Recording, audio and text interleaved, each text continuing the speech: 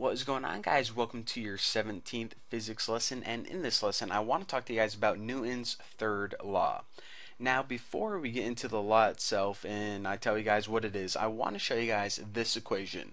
F equals ma or F ma.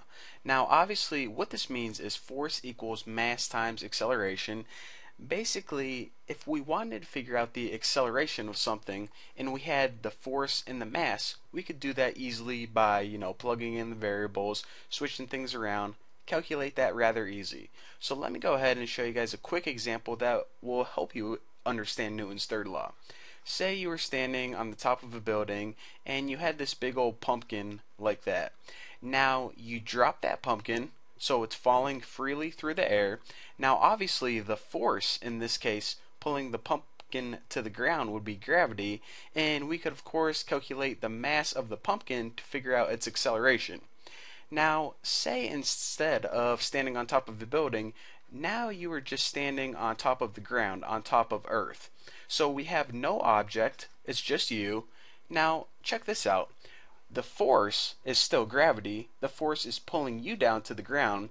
We could, of course, calculate your mass, figure out whatever that is, but let's go ahead and take a look at the acceleration. The acceleration of you, or the object, is zero. You aren't moving anywhere, even though you have a force and a mass. Your acceleration is zero? Does that make sense? Well, if I just went ahead and I said, you know what, why does that happen? An easy answer would be, um, well, Bucky, because you're standing on the freaking ground. That's why you're not going anywhere. But Newton wasn't satisfied with this answer, so he needed to come up with this law. And what he said is, the reason that you are not accelerating is because when you are standing on Earth, you do have a force and a mass, but the force of the earth is pushing up with you pushing up on you at an equal force. Now whenever this happens and the force downward equals the force upward and the object has no acceleration this is called a force pair. Not to be confused with a force pear which is indeed my favorite fruit. Now like I said a force pair happens when two objects have equal force but opposite directions. So let's just give this a fake force of like 10 newtons gravity, and the Earth is pushing up in you with 10 newtons upward. Whenever you have equal forces in opposite directions, then your object is always going to have zero acceleration, aka it's not going to be moving anywhere. So usually whenever I teach this to people, it confuses them how pretty much there is a force keeping you from being sucked down to the middle of the earth and I don't know, it's to be honest, physics is kind of confusing, but I think I can help clear things up by showing you guys an easier example. Of course, whenever you're just standing walking around the earth, it may be kind of hard to grasp the concept of a force pair. So let me show you guys this. Say that we have a tree limb and on the tree we have a watermelon. Now, of course, I know watermelons don't grow on trees, but for this example, this is a watermelon tree. Don't watermelons have like some stripes on them or something?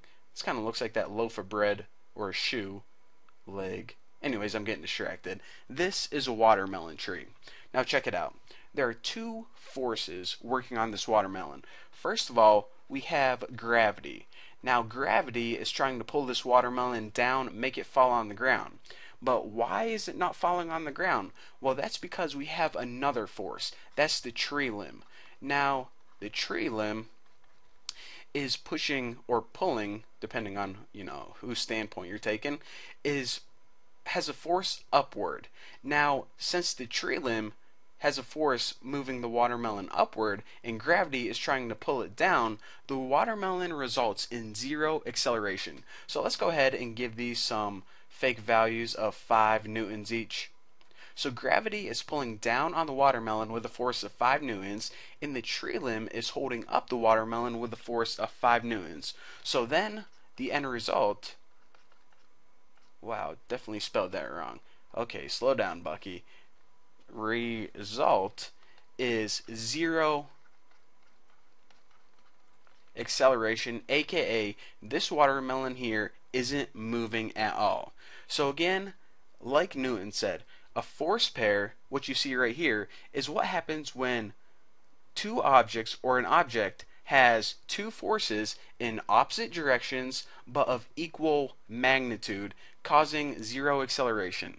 So, of course, if we wanted to get rid of this force pair, then what we would do is we would take a pair of scissors and cut this tree limb, and then whenever we would do that, the watermelon would, of course, spring or fall to the ground. So, basically, like I said, that's the concept behind Newton's third law. And you probably more commonly heard it, like I said, for every action, there is an equal and opposite reaction. So that's the main concept behind it. So hopefully you guys understand it a little bit better and hopefully you guys understand what a force pair is and why you guys are not sinking to the middle of the earth. So anyways, thank you guys for watching. Don't forget to subscribe and I will see you guys in the next video.